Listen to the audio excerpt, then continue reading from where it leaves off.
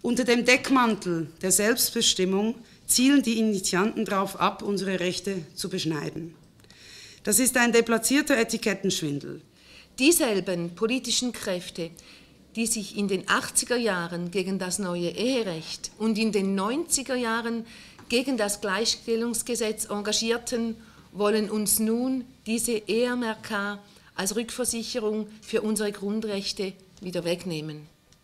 Diese Initiative widerspricht zutiefst auch den christlichen Werten von Menschenwürde, Freiheit und Verantwortung. Dass ausgerechnet aus der Schweiz dieser Angriff auf diesen bedeutsamen Mindeststandard für die Menschenrechte kommt, schwächt den Schutz von Kindern und Jugendlichen, schwächt den Menschenrechtsschutz insgesamt über alle Landesgrenzen hinweg. Das ist beschämend und passt nicht zur Schweiz und darum ist es wichtig, dass wir auch weiterhin die Rechte der Kinder und Jugendlichen garantieren bis nach Straßburg. Wir LGBT-Menschen wissen, dass der Schutz unserer Rechte eben nicht selbstverständlich ist. Und wir wissen, wie wichtig es ist, dass die Grundrechte nicht einfach durch eine Mehrheit an der Urne ausgehebelt werden können. Denn wir sind immer eine Minderheit, wir werden eine Minderheit bleiben. Und Grundrechte dürfen nicht je nach politischem Klima gelten, sondern sie müssen als Mindeststandard garantiert sein. Und genau diese Rückversicherung, die bietet uns die Europäische Menschenrechtskonvention. Das Schweizer Kreuz steht in vielen Ländern für Zuverlässigkeit, für Engagement und für Loyalität mit den Benachteiligten und Unterdrückten.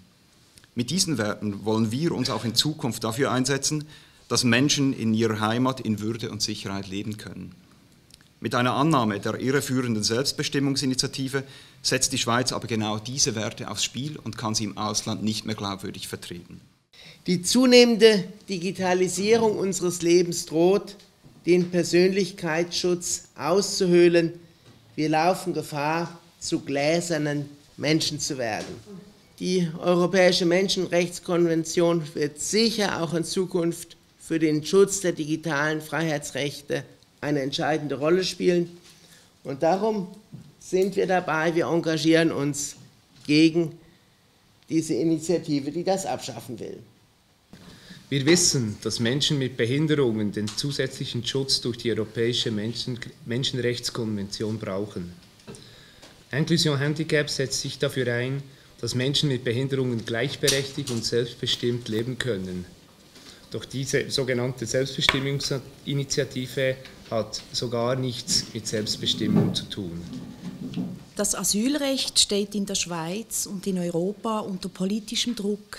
Da ist es besonders wichtig, dass sich auch die Schweiz mit der Euro Europäischen Menschenrechtskonvention einem Mindeststandard an Grundrechten verpflichtet.